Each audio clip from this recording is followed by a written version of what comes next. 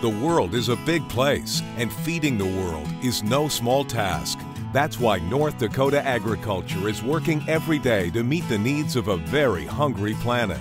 We produce certain staples in North Dakota that we're number one in the production of that the rest of the world is in need of. North Dakota plays a, a, crucial role simply because we do produce 46 different commodities, and a lot of those commodities are high value commodities. Today's global economy is experiencing tremendous growth in consumer food and agricultural products. As a result, North Dakota farmers are using technology and less on farm inputs while increasing the amount of products that can be exported to meet global demand. SB&B is one of many North Dakota companies that is committed to being a trusted provider of foods and food ingredients to consumers worldwide. Our biggest supply uh, from our company is food grade soybeans. Uh, that are grown under an IP identity preserve system, providing that information exactly where it came from. A lot of those soybeans go into Asia. However, we're doing some things now in Europe in the soy milk industry. Safety is a top priority for North Dakota farmers. They understand that consumers around the world trust them to deliver a product that is both healthy and safe.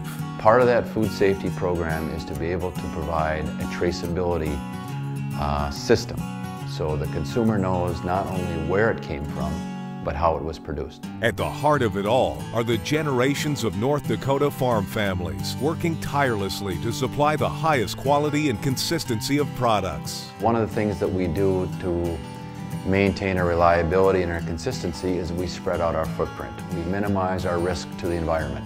And as the global demand for food continues to rise, North Dakota producers focus their attention on what must be done as they commit to feed not only you and your family, but also a growing global population. The fact that our global population is going to grow, as many have heard, to 9.1 9.3 billion people by 2050, and we're going to have to produce 70, 80%, or 100% more food than we do now. I think it's certainly a challenge that agriculture is up to the task of meeting. That, I think, lays a nice scenario out for North Dakota producers. I think that agriculture is, is thriving, and I think it will continue to do well.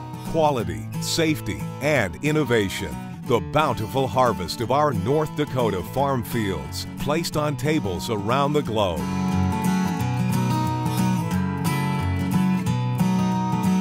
North Dakota agriculture, working together to feed the world.